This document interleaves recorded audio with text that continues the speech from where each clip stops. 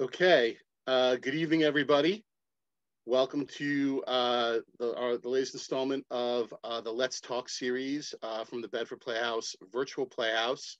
Uh, my name is Dan. I am the Director of Development and Programming, and we're very pleased that you're taking some time out of your schedule to spend it with us uh, this evening for what's going to be a very important conversation.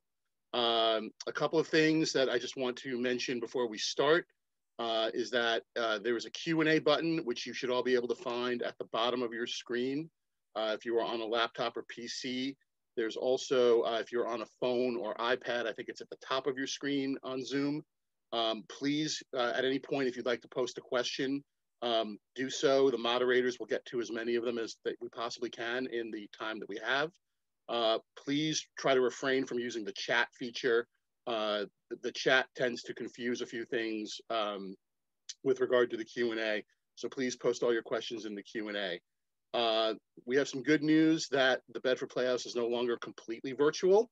Uh, per the, uh, the governor's uh, permission, we have reopened as of this past Friday with limited capacity and observing all of the necessary safety protocols for social distancing.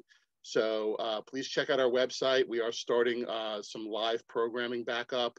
Um, if you are comfortable and if you're so inclined, uh, you may find something on there that uh, appeals to you.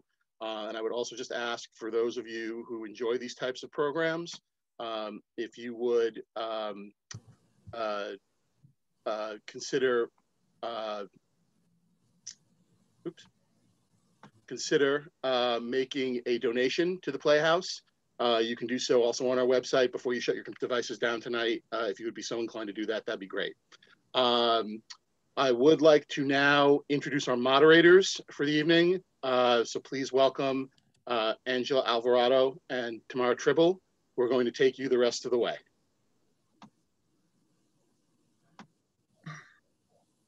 Hi, good evening. Um, my name is Angela Alvarado and I'm the Student Assist Counselor at Fox Lane High School. I'm a licensed social worker and this is my counterpart. Hello, my name is Tamara Tribble and I am the Student Assistance Counselor at Fox Lane Middle School. We work with the Student Assistance Program and we specialize in alcohol and substance misuse prevention and early intervention for the middle school and high school students and their families in Westchester County. We we have the pleasure this evening to collaborate with three of our community doctors from Silver Hill Hospital. Tonight is about coming together as a community and learning about how we can help our teenagers to make healthy decisions. We will be discussing how vaping, marijuana, and alcohol ha has had an impact on our youth, and we um, and we can and what we can do to prevent it. We're hoping that this evening you will walk away with information on what we can do, all do to help our youth make healthy decisions so that we can move forward on a path to help them feel successful. We want to um, also take a moment to just thank those who made tonight happen. Let's Talk Bedford um, was conceived in 2019 by Christine Biddle and Vanessa Smith and Audrey Zinman, who proposed this establishing a community conversation to start addressing mental health and substance use disorders. Um, so they're, you know, they were hoping and what they are doing tonight is bringing in leading experts to share their resources and information so we can have encouraging conversations on how to um, end the isolation and stigma associated with mental health and substance use disorders. The Bedford Playhouse, as you know, um, joined in this conversation and they established the Let's Talk series, um, which has consisted of films and panel discussions by our leading experts and shared resources, recognizing that healing begins with sharing experiences, honest conversations, and leading edge knowledge. The Bedford Lewisboro Pound Ridge Drug Abuse Prevention Council, also known as the DAPC, joined forces with the Let's Talk in 2020 to forward the shared missions. Um, the DAPC is a three-town cooperative effort that works to implement science-based prevention strategies that focuses on increasing protective factors and decreasing risk factors associated with alcohol drug abuse in individual families and communities. Thank you so much for um, making tonight happen, and we look forward to future events on helping individual families and our community. I'm going to turn it over now to Tamara Tribble to introduce our panel of experts. Hello, and to second everything that Angela has said, we are really grateful to have um, you all here with us tonight and grateful for our guest speakers um, as we continue to learn about substance misuse and to shed some light on what trends they are seeing firsthand as professionals in the field. Um, so to start, Dr. Frank Bartolomeo is the Director of Adolescent Services at Silver Hill Hospital. He oversees inpatient transitional living and intensive outpatient program for adolescents, as well as the design and implementation of new and innovative clinical programs and services. Dr. Bartolomeo believes that increasing resilience means having the capacity to bounce back from adversity through the support of meaningful relationships with friends, families, or community. This has been a guiding principle for him over the course of his 30 year career, working with 13 to 18 year olds, as well as emerging adults. Our next speaker is Dr. Rocco Marotta. He is the service chief for the Adult Transitional Living Program at Silver Hill Hospital. He heads up the extended stay, hospital-based, highly structured program for adult patients from all across the hospital centers of expertise. To Dr. Marotta, healing people is a mission, a vocation, and a calling. He says the mission of healing has been paramount within the hospital's institutional culture for generations and scrumptiously passed down. He and his team have had strong resolve to never give up and uses every means possible to help patients and their families. And last but not least, we have Dr. Elizabeth Ortiz Schwartz, who is the service chief of the Adolescent Transitional Living Program at Silver Hill Hospital. She and her team treat patients with multiple psychiatric diagnoses borderline personality disorders, reactive attachment disorders, mood disorders such as depression, anxiety, and bipolar illness, and co-occurring disorders. She strives to give adolescents and their families the tools to manage challenging behaviors, regulate emotions, better understand their difficulties, and improve their communication in order to set out on a different course. Dr. Ortiz Schwartz believes in going the extra mile to understand where her patients are coming from. So thank you for all being here. At this time, we will view a 15 minute video that was put together from our panelists, and it will be speaking about vaping, marijuana, and alcohol. Again, please use this time if you have any questions to direct your questions into the Q&A tab, not the chat room we will get to as many questions as we can. After the video is done, um, be mindful that this is will be recorded. So if you miss something, you will have the opportunity to watch this again when we send you the recording. Once the video is complete, we will begin right away with our Q&A portion.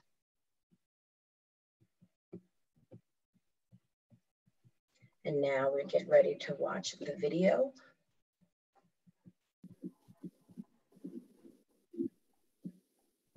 Today, I want to talk about vaping, nicotine addiction. Um, and it's a really important subject because um, of the high number of people who are using it at younger ages and what problems it causes. Uh, very few people start using nicotine thinking about future consequences. It is only once they're addicted to it that they recognize the drawbacks of their decision. Uh, nicotine is one of the most addictive substances in the brain, more addictive than heroin. And what it does in terms of withdrawal, in terms of increase of anxiety, cravings, uh, the need to obtain the substance to maintain that uh, feeling of normalcy, uh, and the need to continue using in spite of uh, all the consequences can lead to, to serious problems. Uh, nicotine can get into the system in a variety of ways. Um, cigarette smoke uh, is you know extremely deadly. About one uh, out of two people uh, who smoke in their lifetime will die of related illnesses, cancer, lung diseases, etc. For most people, that is that is a given, and that's a very well well learned, um, well piece of well known piece of information.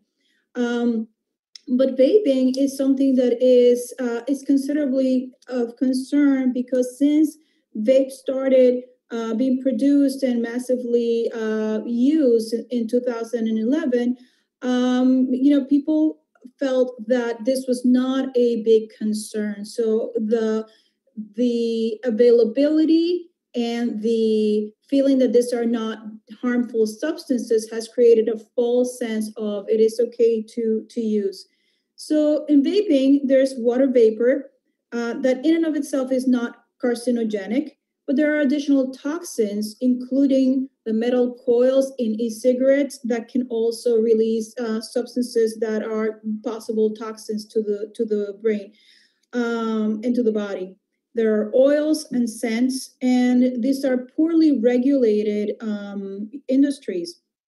Um, in, 2000, in 2019, there were multiple pulmonary uh, emergency admissions and deaths uh, that, you know, for individuals, uh, even very young ones who needed oxygen therapy, um, and uh, that was related to um, you know, to vaping, primarily things that were modified and, and contain vitamin E acetate, which was, uh, you know, particularly toxic to the lungs. It's something that we can ingest, um, and it's in, in, popcorn and other uh, oils uh, that are mass produced. But when they these things are absorbed into the lung, they can create significant problems. And numbers of, of people were affected, hospitalized, and and, and uh, you know ended up with significant um, problems related to that.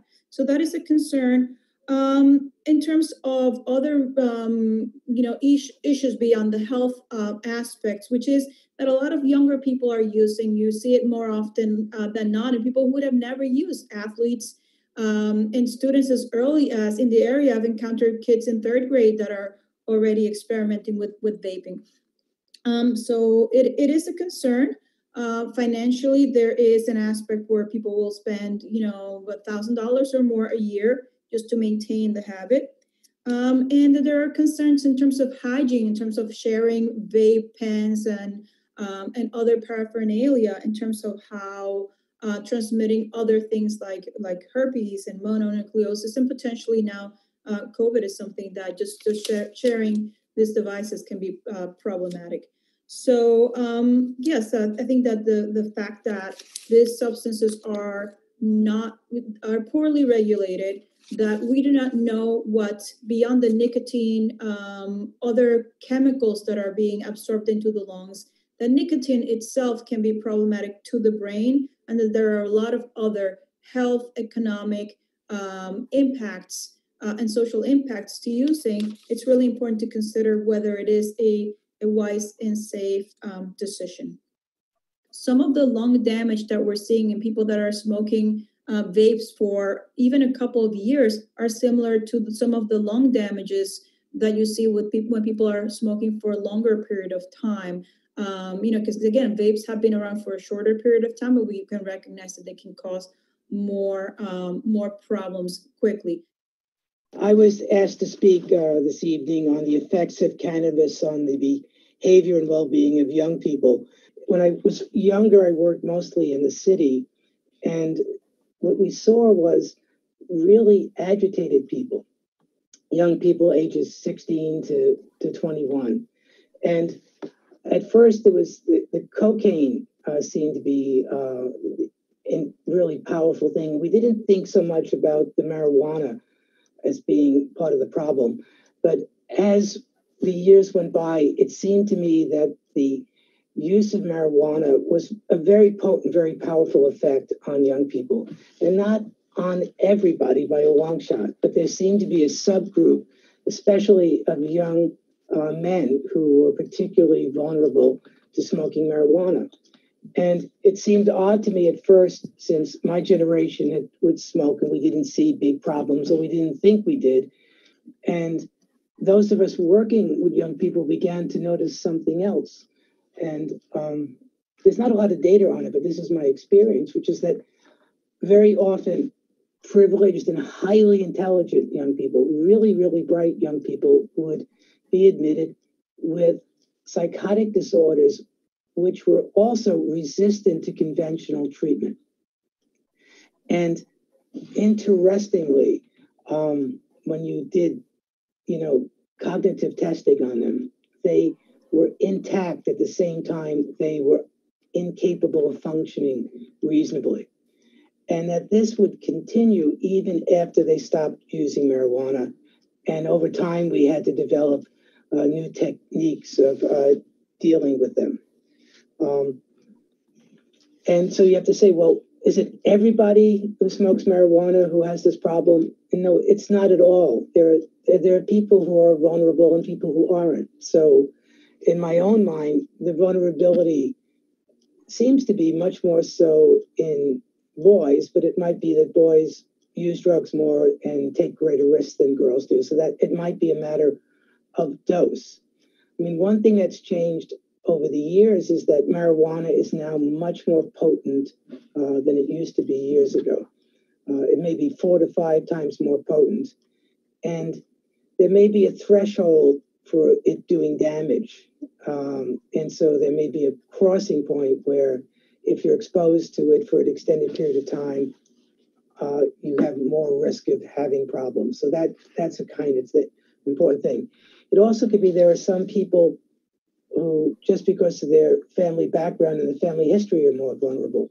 So it might make sense that if you came from a family where there was schizophrenic illness, that you'd be more likely to show schizophrenia using drugs.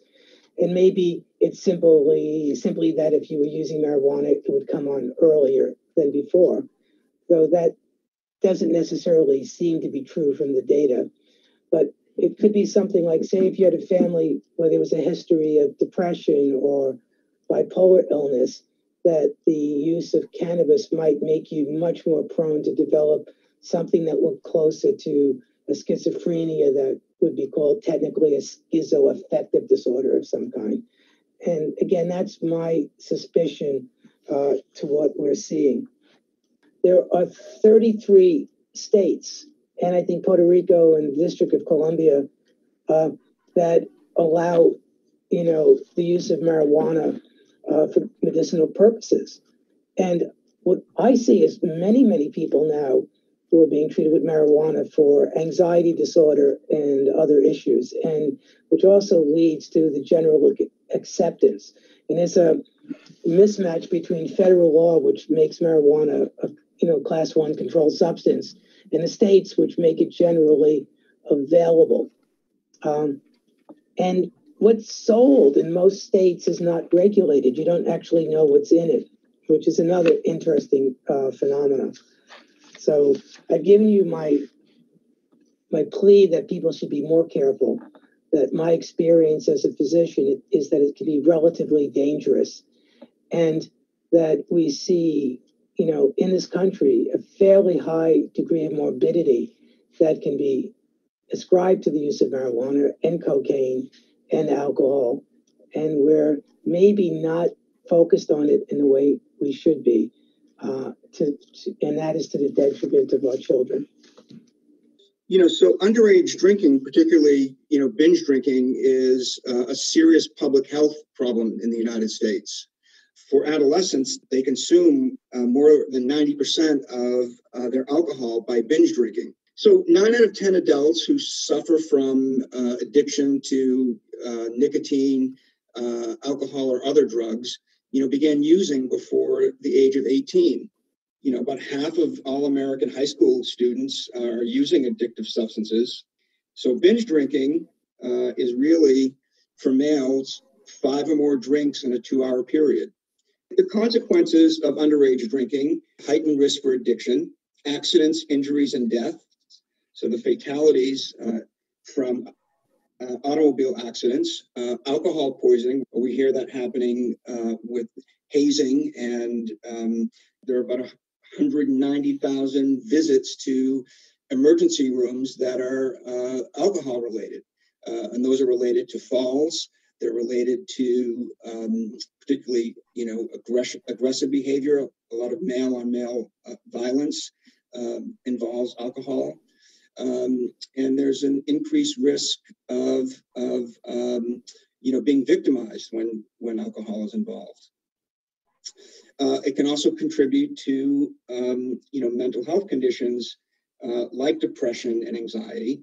In some cases, there was a pre-existing, for example, depression, um, and then someone began to uh, drink alcohol. In parts of this is called the self-medication hypothesis. uh, begin to drink to sort of feel better, but can also work in reverse. Uh, you can um, be using a substance that's having an effect on the central nervous system that can lead to the development of uh, a mental health disorder um, like uh, like depression. You know, we know that alcohol affects the adolescent brain uh, differently than it does adults. You know, because the adolescent brain is in a state of, of growth, uh, it's impacting um, you know, particularly the development of the, the, you know, frontal lobes and the prefrontal cortex. And it has an effect on, um, on learning. So people probably heard of all, all of this information about, you know, the, the, the neuroscience of the adolescent brain. And what we know now, uh, based on uh, increased technology, is that our brain goes through different periods of, of, of growth and change. And the highest amount is from, you know, birth to you know, really three years. And then it goes through another period of what we call plasticity, um, uh, reaching a height of at 15 years. And what plasticity refers to is really that our brains can change uh, in response to um, environment and in response to um, kind of what we're putting into our bodies. So adolescence has been described as both a period of, of, of opportunity and risk. Uh, so I often compare it to being able to open up, you know, a window and you can either let fresh air in or, uh, you know, if it's smog or other kinds of things, that's getting in too. And that's having an effect really on the, um, the development of your brain. Aaron White, who's a, a researcher at, at Duke, and he's noticed uh, that there are actually changes and differences in the brains of adolescents who binge drink versus those who don't he makes the statement that if you're binge drinking, um, you know, in high school and college, it's like a self-induced learning disability uh, because your brain is having difficulty forming new memories. And there's a lot of research on, uh, you know, what we call parenting styles and uh, and the the effect on children. There's at one end of the continuum the permissive parent. At the other end of the continuum, I call the drill sergeant parent.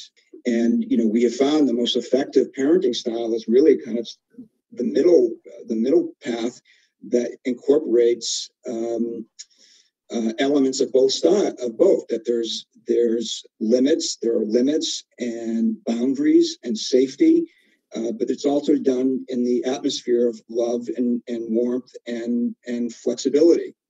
What we're really trying to do uh, in terms of brain health uh, is to give our, our adolescents uh, as much time as possible uh, so that their brains can can mature and evolve in a in a healthy and the most effective and skillful way.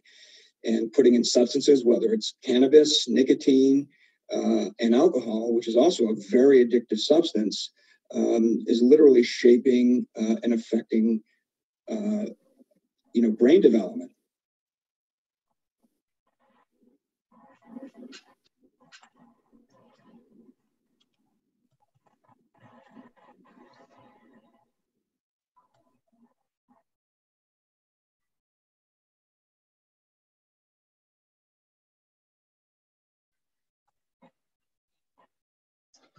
Okay, thank you. So please direct your questions to the question and answer tab on the bottom of your screen.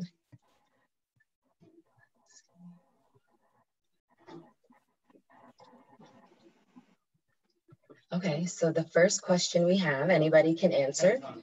Are the schizoaffective type conditions you are observing with marijuana use reversible?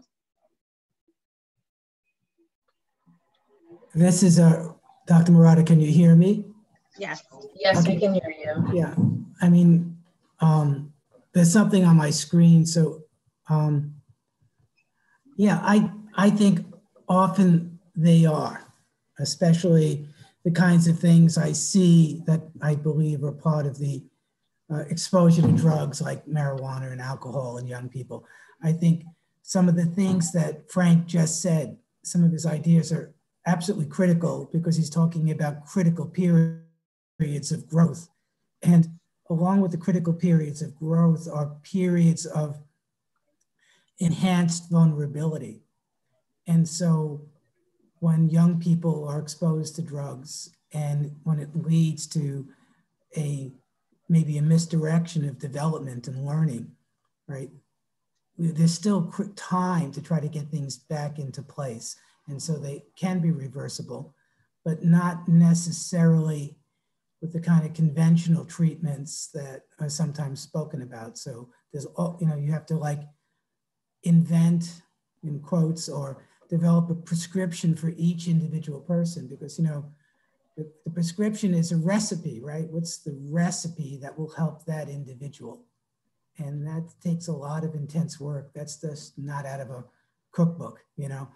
It's not that this is the diagnosis, this is exactly what you do. It has to be thought out carefully for each person. But I'm very hope, hopeful for people, you know? We've seen incredibly, incredibly important uh, changes for the good in lots of these kids, lots of them. To add to that, I'd like to say that when we treat adolescents, a lot of the times they come in with such levels of, um, of impairment. And even after a few weeks, um, as they continue to do better, it's still a concern that the fact that they were able to get impaired so much to begin with. And for a lot of kids, that's a, the first beginning of concern that might lead them to, you know, to experience what Dr. Marotta sees with the older young, young, young adult patients in terms of just the first sign of deterioration. Um, so I think it's it's really important to you know to to consider that, that the kids look extremely disturbed, and as they start clearing, their brain starts uh, the fog that starts lifting, they look better. But it's still a concern that their brain was fragile to begin with, to be under um, you know to have looked so terrible um, at, on, on a on a at a period of time. For a period of time. Thank you for um, your response to that.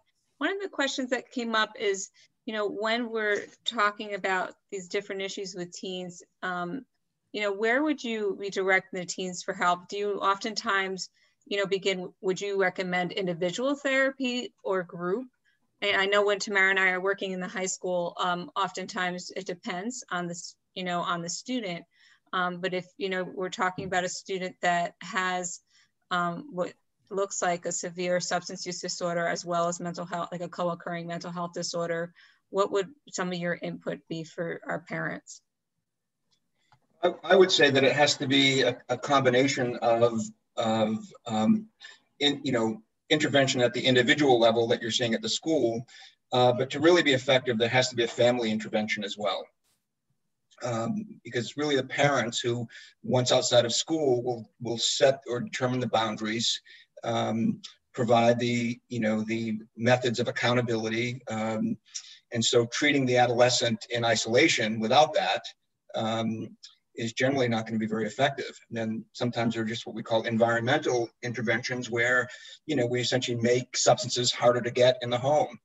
Um, and so that can have an, an, impact. So if there's, you know, lots of alcohol in the home, in some cases, we have to ask parents uh, to lock it up or, you know, do what they need to do to make it difficult to get. So there are different levels of intervention. So the, the environment, changing things in the environment, the individual piece, uh, and then the family piece.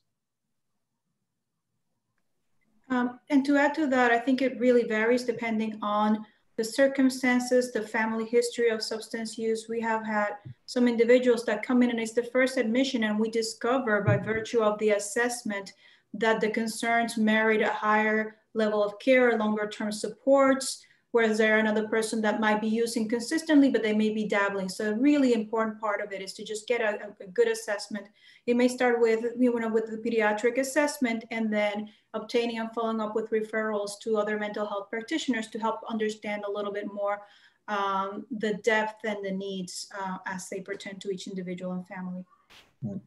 Yeah, I, I mean, I would think about it of, you know, on a continuum. So there's use, abuse, and then there's what we might call addiction or dependence. Um, and sometimes those things are not interchangeable. So there are some substances or some behaviors that are addictive in nature, but one doesn't develop dependence, uh, physiological dependence. So I really take a look at what is the relationship to that substance. You know, how involved, how um, involved is the adolescent with that substance, how much has it taken over his or her life? What are they willing to trade in exchange to preserve their relationship with their with their substance? And so when we do assessments, we're really looking at where, uh, where someone may fall on that continuum.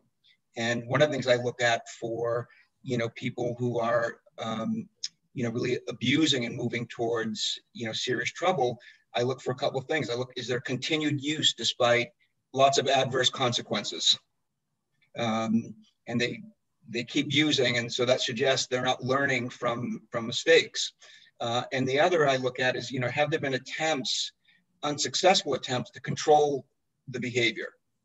You know, promises to cut down on nicotine or promises to reduce uh, pot smoking, but not able to do it. And, and then if there's evidence, the, the third C is, you know, what I call cravings. Um, and if you have all those things, three things together, continued use, um, attempts to control, and cravings, you usually cross that line into um, um, you know, where the adolescent or adult can't can't control the behavior. It's now a question of you know not able to versus I want to. Yeah, I thought Angela was also asking something that's embedded in all our answers, which is what's the best treatment? How do you know what to do? And I think that critically calls for you know a real evaluation, right? A real assessment of what goes on. Mm-hmm. Because treatment should emerge from the differential diagnosis to use, you know, medical talk, right? We got to know what we're up against. And what we're mostly up against in these situations a very complex situation of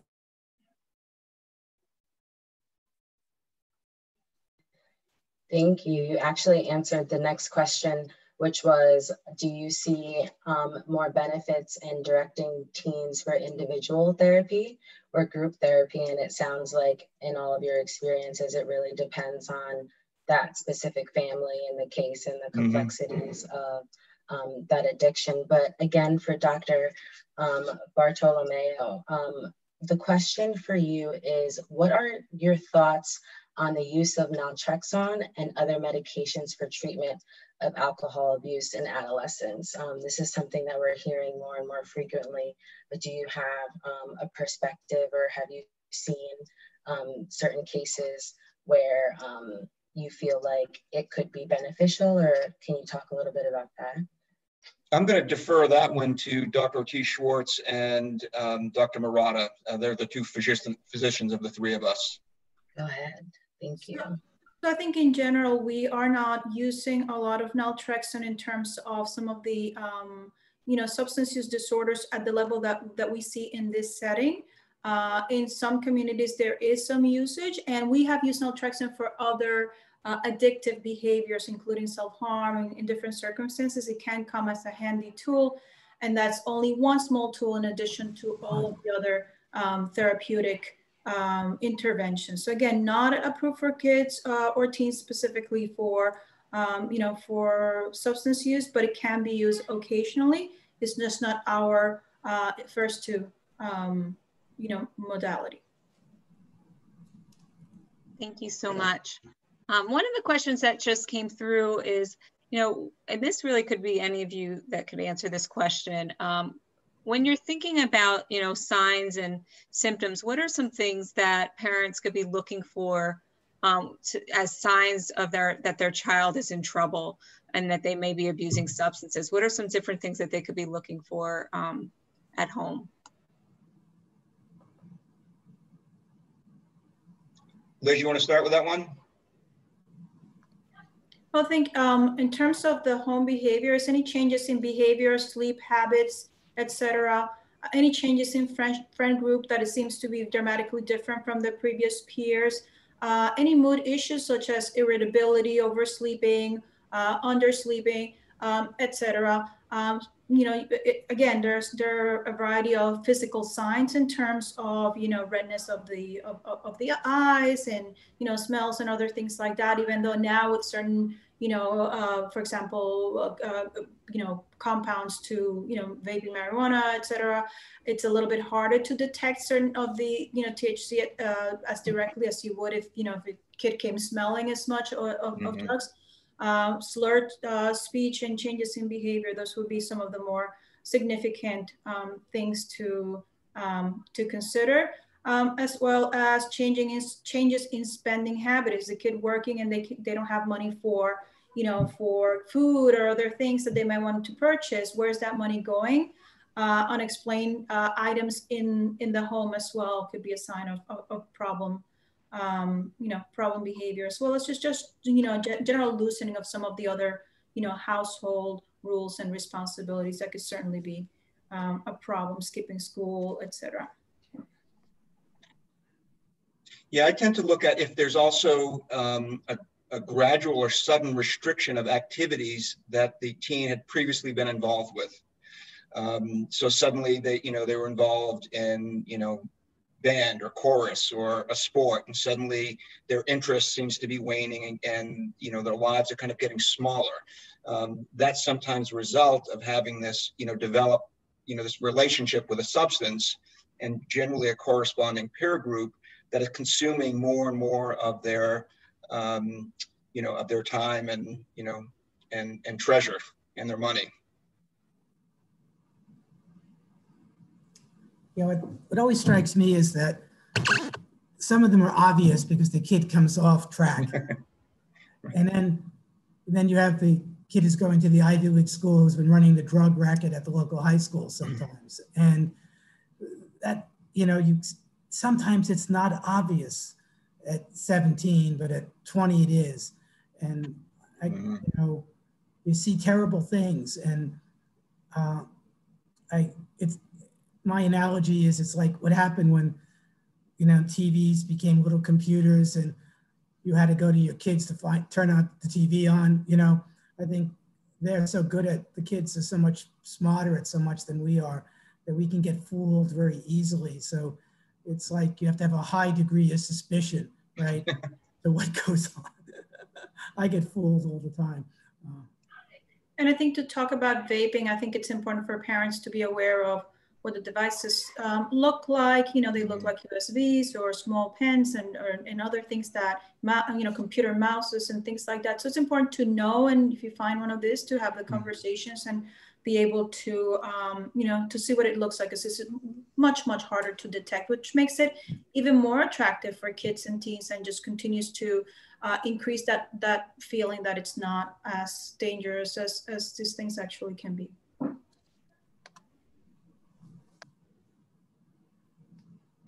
So Dr. Ortiz, um, one of the questions now that you're talking about vaping says, what um, would you recommend in terms of medication or nicotine replacement ther you know, therapeutics um, when dealing with teens and vaping?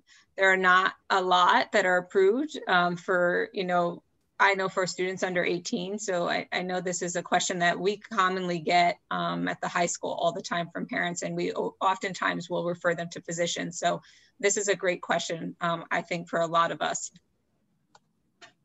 So uh, thank you. Yes, I think we, we traditionally use the nicotine patches uh, in addition uh, to the lozenges and the nicotine gums. Occasionally, if a kid is about 17 years old or, or so, um, the insurance companies and others might approve of label use of Chantix, varenicline, and other um, you know, products like that. Um, so it is, it is possible to prescribe some of the uh, adult medications of label for teenagers as long as they are a little bit closer to 18 than not. Otherwise, really um, abstinence and again, uh, nicotine replacement um, patches, gums, and lozenges tend to be uh, sufficiently helpful for, um, you know, for the gradual decrease. Thank you. Um, Thank you. So this question, I think I, would like to direct towards um, Dr. Marotta. Um, we have uh, a parent that is sharing that, you know, they have a bright 16 year old who does well in school, um, but is hiding um, his or her marijuana use. And um, it says we have intervened early and got a therapist involved. What boundaries do we put in place other than limiting time alone away from our home and with friends? Um, they have a zero tolerance in their home. You know, can they drug test and, and how often would you suggest? Well, I mean, it's a 16 year old, so they still have a power, but it's going to be a power struggle, right? I mean, the culture is lined up against them.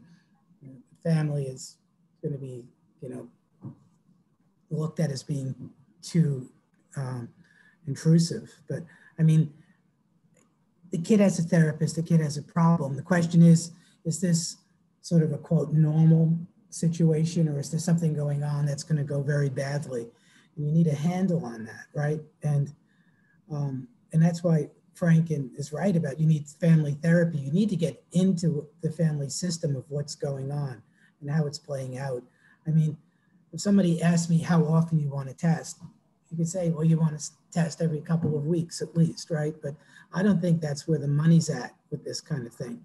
Um, because there's always ways of tricking us, I, quite seriously so. I mean, we've had patients in hospital, patients in prison, right, using drugs and not getting caught. So you have to understand that parents don't have as much control as they may think they have. Uh, young people know a lot more than we do about, you know, pharmacokinetics and and and masking. mm-hmm. um, and so we have to look at this very carefully.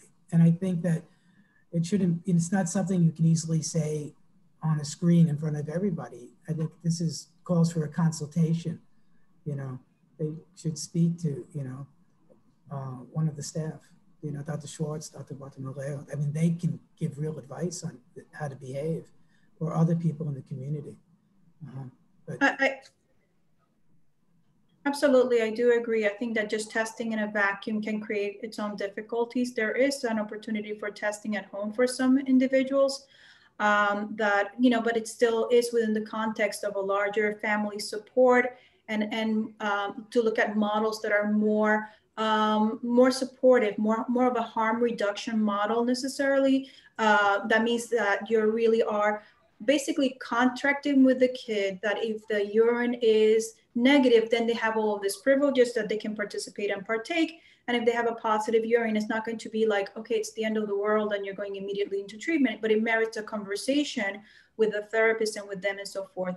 And I think that in the right therapeutic setting, um, a lot of therapists will, you know, will do some form of testing or will have uh, availability to do, to, you know, to do that through um, you know, through, through other medical providers. And I think that, that that strikes the balance and takes some of that responsibility away from your from from your child because you really want to be able to uh, to connect in a way that relationship and improving that relationship actually decreases some of the harm longer term uh, harm more more than anything that educational piece and, and really supporting that. So i think that to get to the that role of policing the child versus helping the child and supporting them and giving them education will be really desirable to move away from from that. And the testing can sometimes be felt as intrusive. If somebody else can do that and, and if that's needed that's great. There is room and opportunity for parents to have to do the testing themselves but that would be under very um, specific you know uh, consultation and, and, and support to the to the entire family system. What I liked and I heard in that question is that the family seems, you know, crystal clear about their values and has given um, an unambiguous uh, statement about use.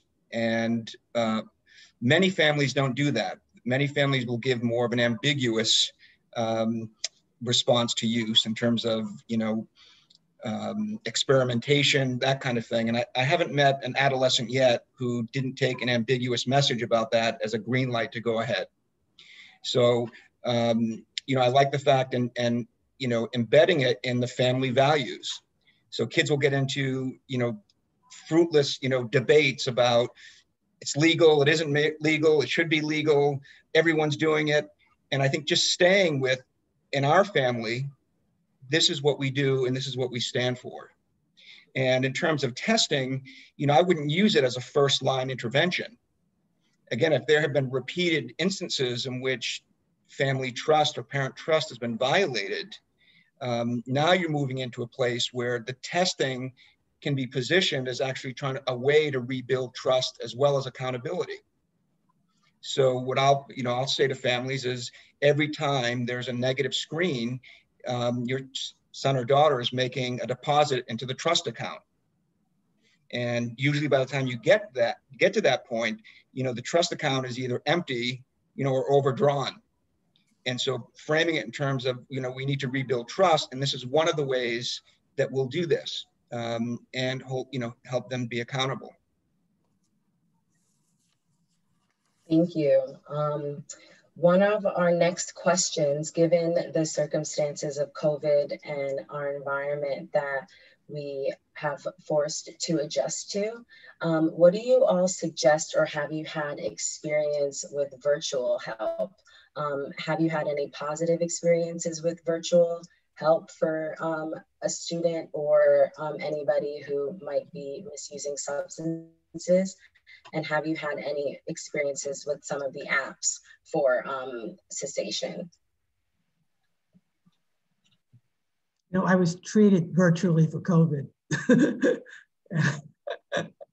and that, that was a good experience. I did well.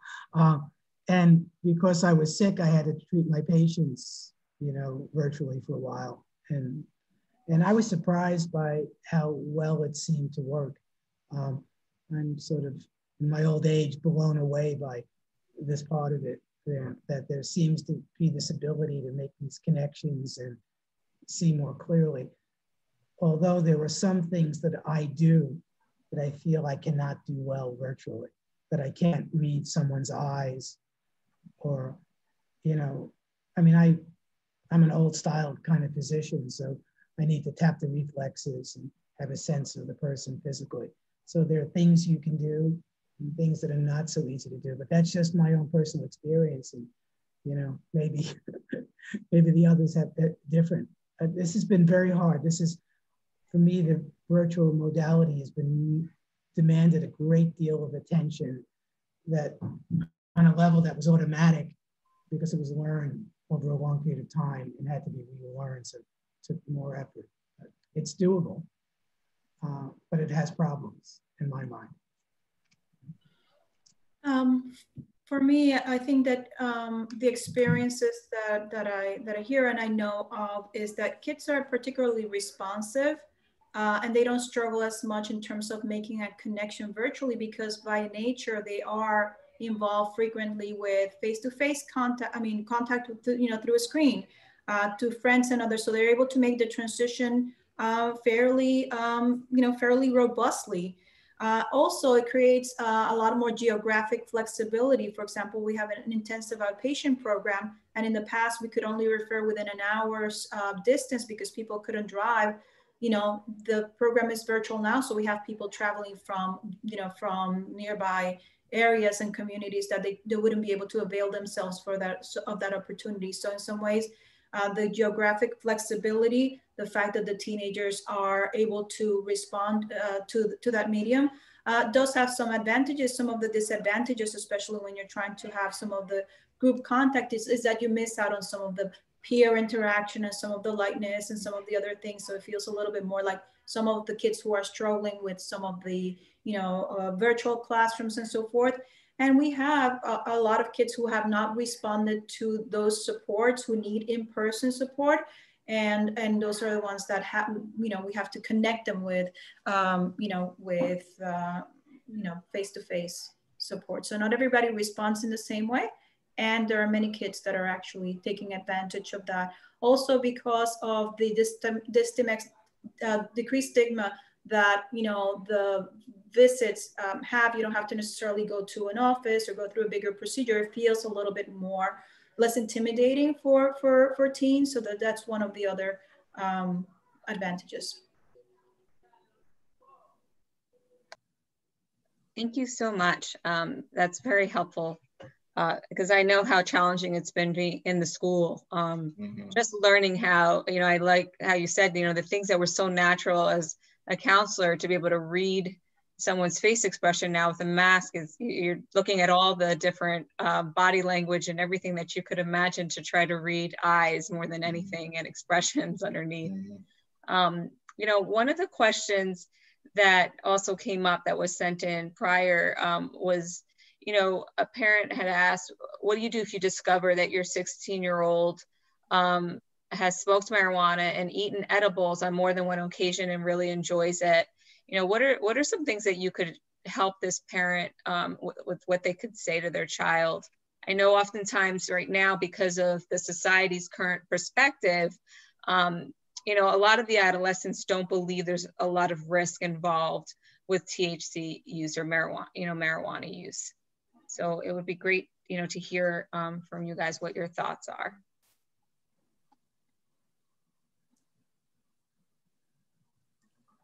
In an election year, that's a difficult question. I mean, I, you know, I'm I was actually at Woodstock. I always tell people it's not a joke, you know, and I, I was at Berkeley in the summer of love. And so I grew up with a very different ideology. So makes perfect sense that if you're a teenager, your 16 year old, you know, smoked or had an edible, that it would be a pleasurable experience because, you know, that's the way the vast majority of us are wired to find that pleasurable. So it's hard to imagine the dangers that will emerge over time especially when it's not everybody, right?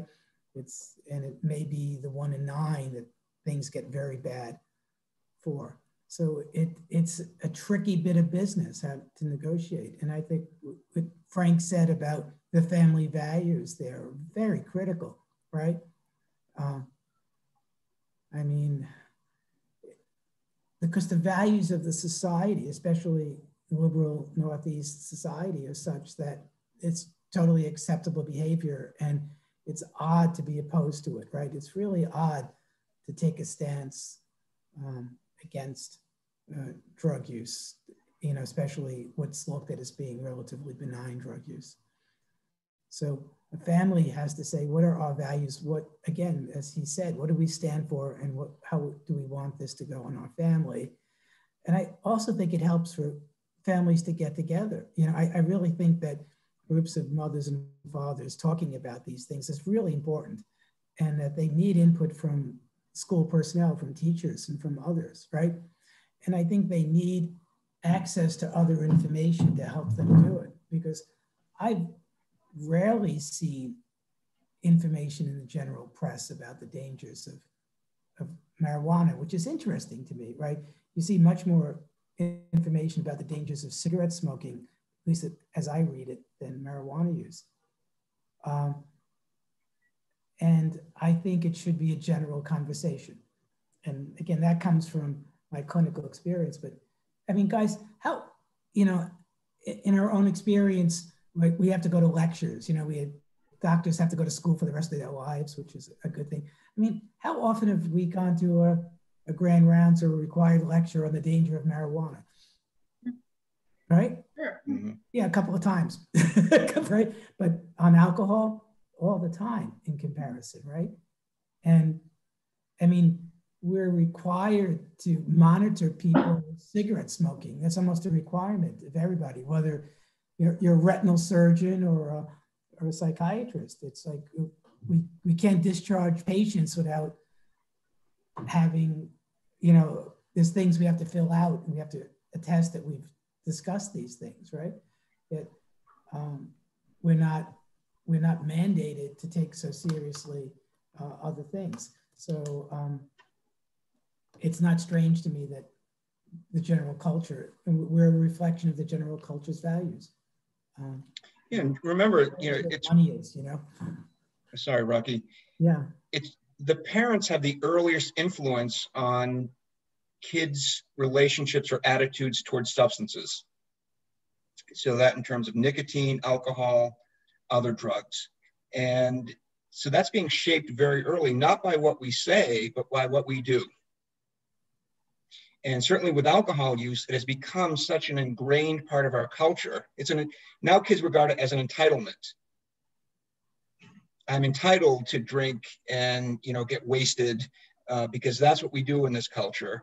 And that's what I'm entitled to do at college. So pushing against that uh, is very challenging because it's so ingrained into, uh, you know, our mores. And that's taught very early. You know, growing up, you know, my father's been a season ticket holder for the Patriots for 50 years. And when I was a kid, he and his friends would drag their sons to the football games. And what did I see when they were tailgating? I saw lots of men, uh, also women, consume large amounts of alcohol. And so what are the message that I get that I get about what men do to do together when they get together? right? That was a that was that was something that was communicated to me non-verbally, and it took me generations to really appreciate, you know, that men can get together and it doesn't have to involve a beer or a substance. So that's being shaped very very early, and you know, kids see us when, um, you know, you come home from work and have a cocktail, right? That's saying something. You know, kids are wondering why do when you go to weddings everyone's drinking. Um, you know, that's saying something and those are the kinds of discussions that kind of, you know, you know, as Rocky said, it makes sense that they want to use a substance that makes them feel good. And, you know, there has to be sort of a broader dialogue about this. Thank you. Um, just being mindful of the time before we wrap up, yeah. you did answer um, a little bit of this question. Um, what, as parents, what kind of behavior should we be concerned to respect of um, leading a good example for our young ones. Adolescent model good and bad behaviors. Should we be concerned about keeping our drinking in check or how do we balance um, making it appropriate but still educating our students that um, that's not something that we want them to be involved in. And I think that you all mentioned it again, it goes back to values and having those conversations and building relationships um, and having the student understand and have um, a perception of harm before they want to argue about the laws. So I definitely see that in, in the middle school um, mm-hmm. as well, just focusing on good decision making skills so that they have the tools to um, make the right choice. So can any of you speak to how parents if they should monitor their behavior or how to go about that?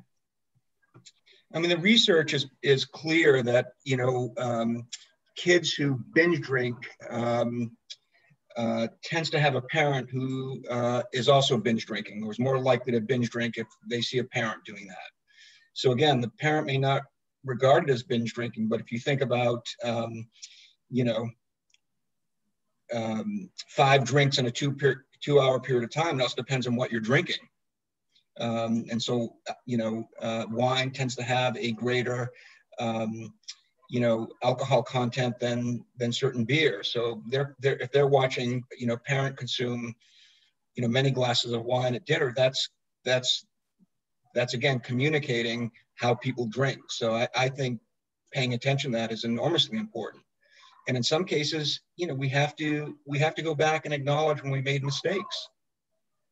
You know we've had we've had kids i've worked with kids whose parents have in some ways given them the green light to experiment. And then things got very bad. And then they started having you know fruitless debates about how much is too much. And in some of those cases i think the parents had to go back and say i made a mistake. I gave you some very mixed messages about about using and you know i'm sure that confused you. You know we we we had a kid recently at the hospital who you know in response to her heavy substance use the father would say oh i did what you did but many times over. And you know she began to see her father as a potential um, uh, risk factor in her in her relapsing um, because in some ways he was he wasn't acknowledging or giving the reality of what, what she was doing, but actually was saying, well, that was nothing compared to what I did. He loves his daughter, but gave her some very confusing and dangerous messages. Thank you. In addition to go to addressing the confusing or problematic messages, I think, and, and setting a good um, example, I think it's really important to engage the, the teens and individuals in the dialogue and discussion that does not seem um, to be too directive. So it really is about asking uh, questions, uh, not just telling them what to do, but trying to understand what kind of pressures the kids are facing. Mm-hmm. Well, you know, what are some of the, the things that the peers are doing? You know, asking questions. You know, uh, uh is, is there are there a lot of kids vaping in your school? Um, how are you feeling about uh, vaping if you see somebody vape and eventually teaching them the language so that they have a plan. So if they encounter these things, how can they avoid them? How can they really manage without looking, you know, silly or, or, or foolish or, or, missing out on some of the social, um, you know, uh, cachet that goes with, you know, with, with doing this, these substances nowadays. So it, it becomes mm-hmm. part of the process, part of the ongoing conversations. And the more that parents can learn, um, you know, the about the, you know the use and the tools and what's going on around uh, their you know their neighborhoods what happens when they're visiting another friend's house and all of that the more they can help support their child specifically to their situation while upholding their own family um, you know values when it comes to what is healthy what is safe um, and what, what is appropriate. Yeah i mean it's, it's very difficult when we're anxious about our children to approach them with curiosity rather than judgment. And approaching them with curiosity and exploring what would it mean for you if you didn't use substances in your school? Often it comes with significant social costs. And often the highest, um, the kids with high social status are, are heavy partiers. And being able to empathize with them because we all have a need to belong for adolescents is even more intense. So they're often caught between these competing um, drives, if you will. One hand, I need to co connect and belong, but then how do I also adhere to the values or the beliefs my parents are putting out for me? It's a very difficult uh, dilemma. And I think approaching that with empathy and appreciating, you know, what would happen again if you go to the party and you're the only kid who's not using? What would that be like? And I've heard other kids tell me, I won't get invited to the parties. Okay, so now there's going to be a social cost associated with it. And how are we going to deal with that? I think you're absolutely right. I think students um, really appreciate the honesty and not just saying no because I said so, but mm-hmm. having a further understanding of why so that they can make those decisions and feel confident when you know they're approached in a situation that's not safe so mm-hmm. awesome thank you just to add to that as, as one my final comment comment is to recognize that you know the the brakes the impulsivity part of the brain and the ability to just pump the brakes is not there yet for you know for mm-hmm. most individuals until their early to mid 20s so to understand the context of you know, it is not as easy as telling somebody, don't do this. I think that the, the, the, the temptation in the moment is going to be much more significant. So the fight is, is going to be, uh, you know, we have to be cognizant, cognizant of that in our uh, supportive and educational efforts. I mean, I feel so strongly in agreement with everybody, but also this idea that the school is a central place in this, to setting, you know, is trying to set a different set of values because we're just occasional, you know, advisors or viewers of this. And also what I saw with my own children, that there were other people in the community took on the parental role in a way that we didn't understand that, um, you know, that we were odd parents. And, but it, it, our children became identified with other people's parents. And there's some pretty wild behaviors going on in Fairfield County and in Westchester County. And I think that has to be addressed on some level at some point. Mm-hmm. I'm actually in Charleston, South Carolina on vacation and I got to head off again. It was a great pleasure. Thank you for having me. Take care. Bye. Thank Bye, you so much. Thank you so much, Dr. Marotta. Thank Enjoy. you.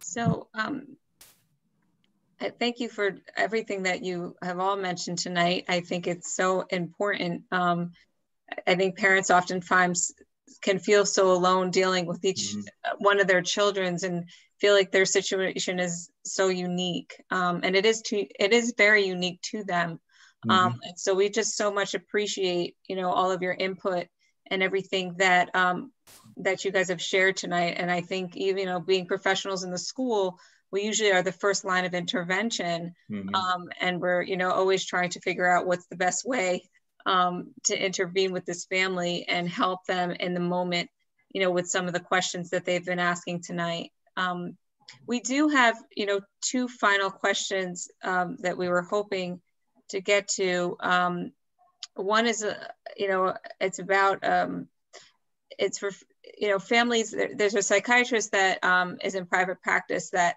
often encounters early substance abuse in patients, particularly with ADHD. And um, first question is, how do you balance the need of ADHD with the needs to treat the substance issues? And then the second question is, how do you work with families to treat any underlying codependency family structures that can also be a large part of reinforcing part of the substance issues? So on the question of uh, stimulants, studies have shown that um, when a person has ADHD and they enter the enter the teenage years, uh, if they're not properly treated, that they're at a higher risk of um, additional substance use. And it's typically not addiction to the the stimulants themselves. A lot of the times, the stimulants help to you know, to kind of like help normalize and decrease some of the, um, you know, hyperactivity, impulsivity. So not having those things, not having the, for example, the stimulant medication to treat hyperactivity, impulsivity has shown uh, that the risk of substance use is higher.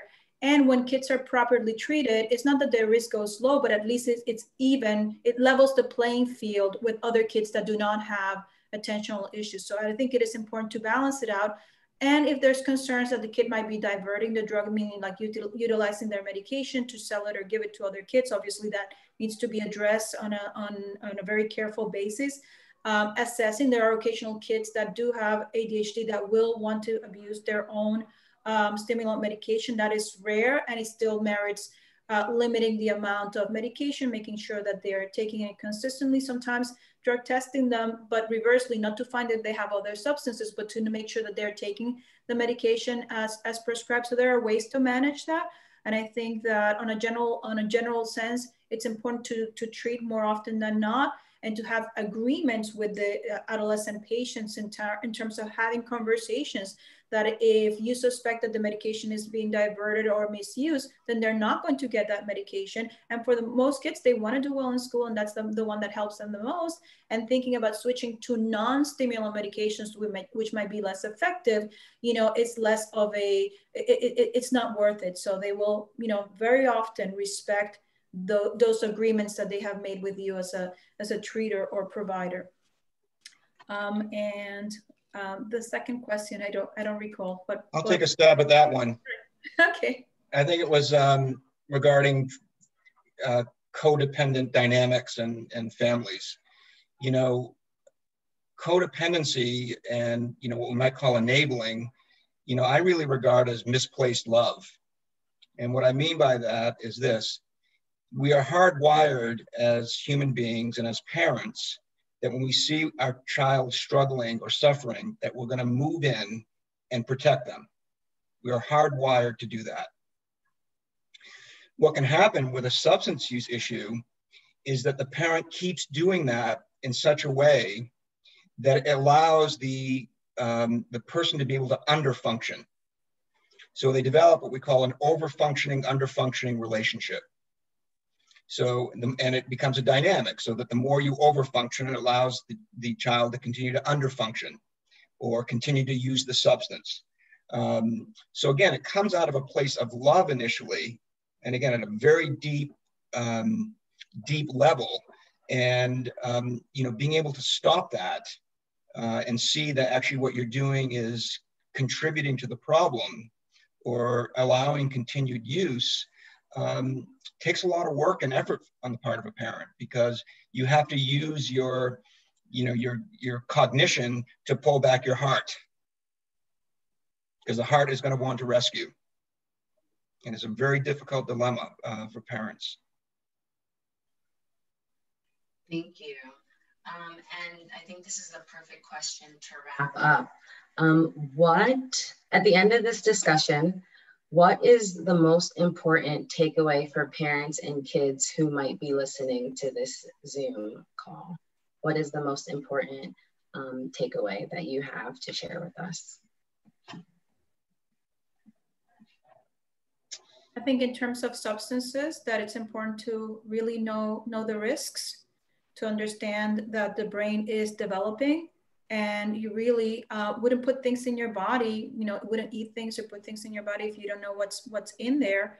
Uh, and it's the same thing with you know substances alcohol and other things that that, that really can impact um, you know a lot of things down the line.